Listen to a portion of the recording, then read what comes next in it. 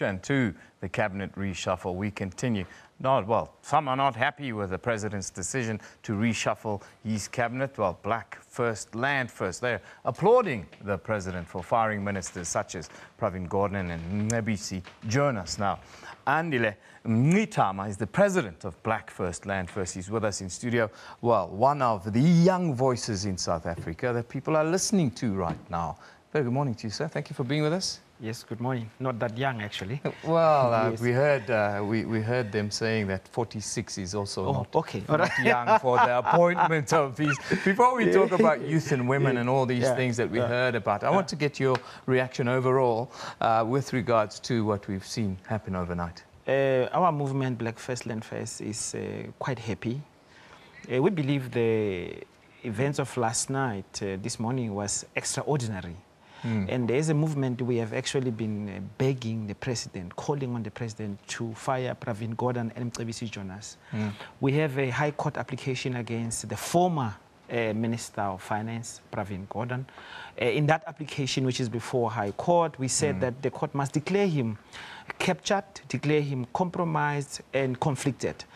We must remember that uh, Pravin was not the preferred uh, candidate for the, for, the, for the president for that position. Mm. The president was forced by white monopoly capital to basically appoint him. He has, and Pravin, to the disappointment of many people who had used to respect him, mm. he has, when he took over, acted to protect the same white monopoly capital that put him in that position, which in the papers we put before court, we show he even have shares in the companies hmm. of the same white monopoly capital. The same banks which are found to have been colluding, the same companies such as Unilever, which has been stealing from the uh, poor, Pravin Gordhan has shares in that, and Pravin Gordhan has been protecting them. The last big thing, of hmm. course, got to do with the treasury and Reserve Bank in particular, wi- hmm. with regard to the banking system.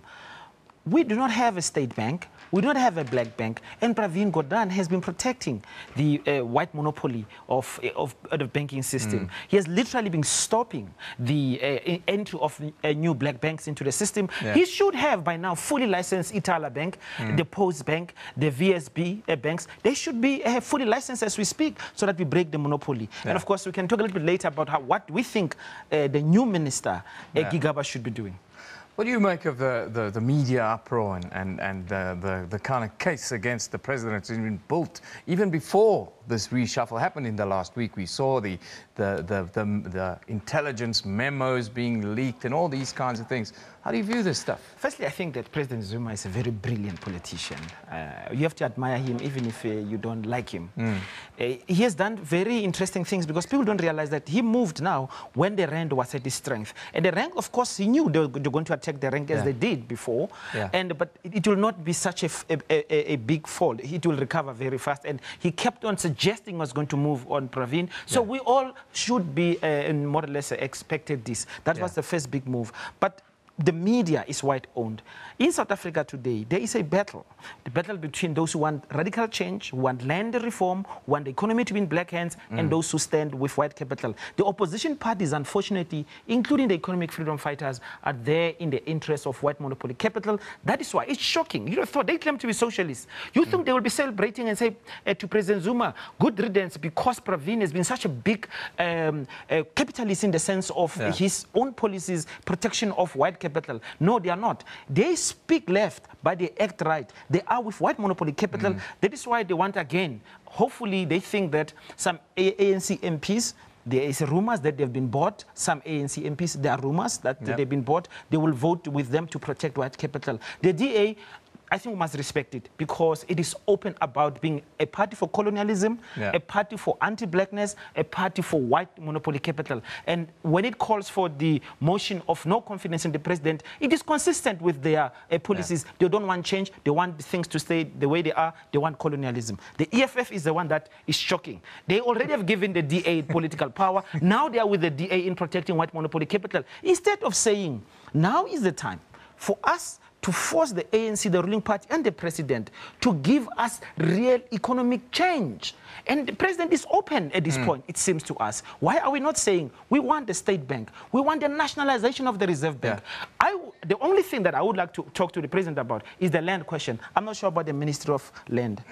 Tell us quickly about your Hands Off Zuma campaign that you guys at the BLFF have, have started. We started this campaign sometime last year, and this campaign really has come from our shock when we saw the uh, Brazil, the president of Brazil, which was, who was uh, democratically elected, being removed by white monopoly capital linked to London again. Yeah. And they organized to actually get rid of a president. And we in South Africa looked at exactly the same moves. The Yeah. civil society, things like Save South Africa, are all organized and funded by white monopoly capital and imperialism. Johan Rupert came out, one of the biggest land, in our view, land thieves in South Africa. We call him that.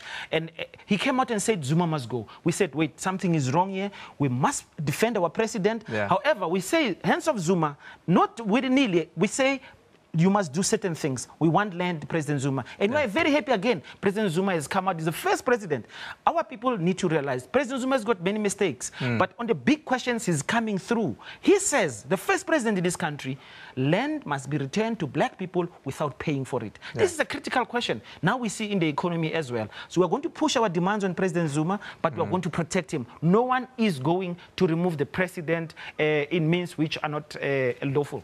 Now, there's been talk about mass resignations and cabinet ministers walking out and uh, led by some.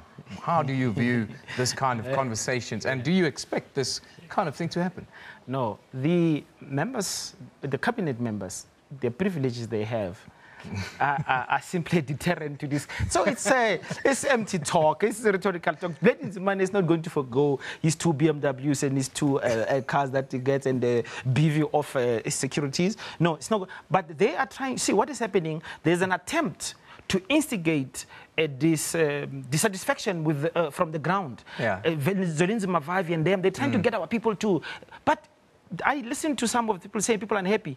Where I go, people are not unhappy. People are actually happy. Yeah. So it depends from your perspective. Those who want change are very happy with these changes. Those who don't want change are unhappy. So now I think that there's no communist is going to leave parliament uh, because there are no communists in South Africa. One quick, you've got, you've got less than a minute to tell us quickly about the hot seat that Malusi Gigaba now finds him in because it's going to be the hottest seat in South Africa for the next year for sure. Malusi Gigaba, my advice to him is that don't regard anything said by the uh, rating agencies. Don't listen to white-owned media.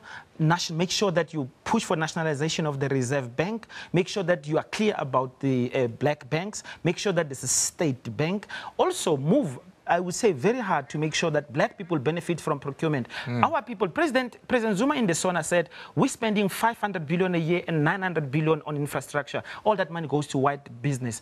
Malusi must be serious about set-asides. He must make sure that this money goes to in the black hands. And hopefully the, the deputy minister's got a lot of money in his hands. He does the same too. Thank you very much for being with us. We can talk at length, much more. I'm going to Uh, celebrate. Hopefully in the future. Andile Mngxitama is the president of Black First, Land First. Elvis.